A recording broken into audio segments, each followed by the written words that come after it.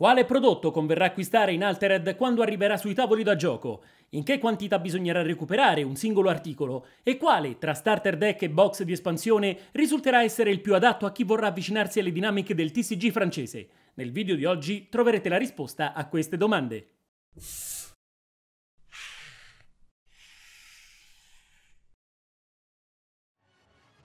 Signori, bentornati sul canale con il nostro consueto appuntamento settimanale. Mentre i roadshow stanno dando il via alla seconda ondata di test per i centri ludici che ne hanno fatto richiesta, Altered continua a far crescere l'hype per il suo arrivo previsto per la metà di settembre 2024. I preordini sono stati aperti in ogni dove, Fantasia Store compreso. Vi lascerò in descrizione i link ai prodotti. E già da un po' si è iniziato a testare un meta che arriverà presto, dando la possibilità ad una o più delle sei casate apparse in questo primo atto di dominare indiscussa l'esplorazione del tumulto o di creare una sorta di bilanciamento che vedrà battaglie combattute fino all'ultimo avanzamento sulla plancia di gioco. La domanda che però attanaglia ogni nuovo giocatore è sempre la stessa.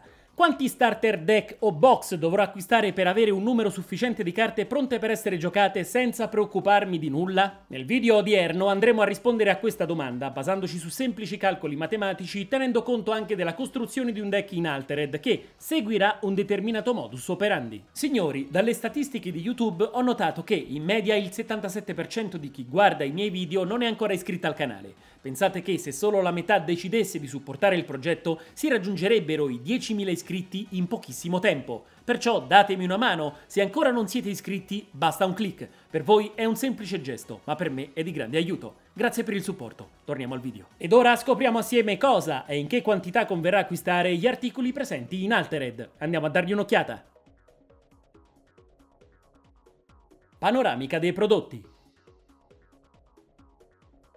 Attualmente in Altered sono presenti 7 articoli, 6 starter ed un box da 36 bustine. Partendo dai primi, questi andranno a rappresentare una base di partenza per tutti coloro che vorranno dare il via alla propria avventura nel mondo del TCG francese. Infatti avrete a disposizione le liste base degli Axiom, i Bravos, i Lira, i Muna, gli Ordis e gli Izmir pronti all'utilizzo con rispettive numerazioni interne che regoleranno dinamiche di gioco appartenenti alle relative case. Ok Arconte, ma quanti starter dello stesso tipo dovrò acquistare per avere tutte le carte disponibili possibili da integrare all'interno di un mazzo?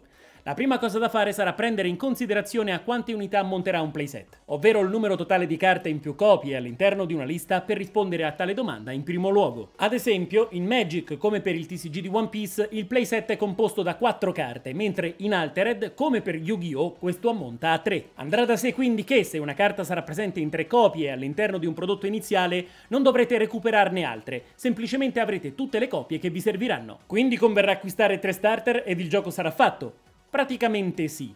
Ma attenzione, la costruzione di un deck in Altered, come già anticipato, richiederà il soddisfacimento di alcuni crismi, senza i quali non si potrà rendere legale un mazzo. Ad esempio, non si potranno avere più di tre copie di una carta con lo stesso nome in un deck, indipendentemente dalla sua rarità, quindi dovrete trovare un giusto compromesso numerico andando ad escludere ad esempio la versione comune per dare spazio ad una rara e due uniche, o includere tre comuni escludendo le rare e le uniche, o scegliere di inserire una di ogni tipo nella lista che vorrete giocare e così via. In più dovrete tenere bene a mente che nella costruzione di un mazzo, che dovrà essere composto da un eroe e da almeno 39 elementi della stessa fazione dell'eroe stesso, potrete usufruire di massimo 15 rare e 3 uniche, bilanciando le dinamiche di gioco nel migliore dei modi. Ok, ma quindi quanti starter dovrò comprare? Come già detto, ne consiglio 3 per fazione per avere il playset completo di ogni carta presente negli starter, dato anche che, da quel che mi risulta, non saranno presenti uniche tra le liste proposte. O se non vorrete affrontare una spesa piuttosto importante, dato che si sta parlando di più di 200 euro, il consiglio sarà sempre lo stesso.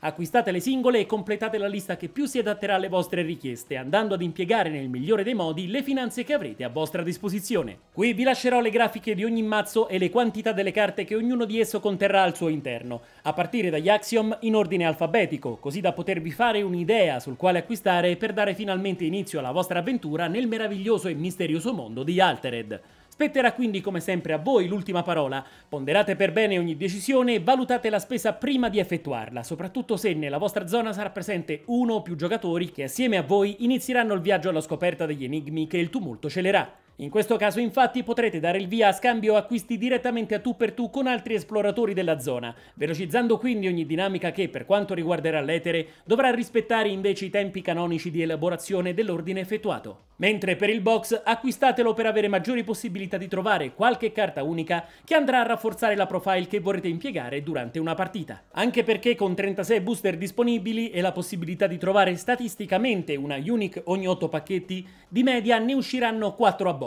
Perciò ricapitolando, per avere ogni carta disponibile in playset all'interno degli starter dovrete acquistare 3 copie di questi ultimi o una singola confezione per casata, quella che più vi interesserà giocare, recuperando poi le carte singolarmente dal mercato secondario quando sarà presente e sviluppato mentre per i box uno o più per recuperare sia altre carte non presenti negli starter, così da rafforzare la propria lista giocata, che le uniche pronte per dare quel tocco in più al mazzo che impiegherete durante un match. Per l'acquisto di carte singole poi dipenderà ovviamente anche dal costo delle stesse, poiché se una carta si aggirerà attorno ai 10 euro andrà da sé che il pensiero iniziale, quello di recuperare un secondo o terzo starter, di certo potrà tornare la soluzione più valida, ma vedremo a tempo debito come si svilupperanno le cose. Prima di concludere volevo aggiungere aggiungere un altro fattore da prendere fortemente in considerazione, soprattutto se di articoli in mercato ce ne sono di così pochi. Pensate anche alla priorità di acquisto. In che senso? potrà andare a finire che, reperendo uno o più starter dei Mona, ad esempio, dopo l'apertura dei box vi ritroverete tra le mani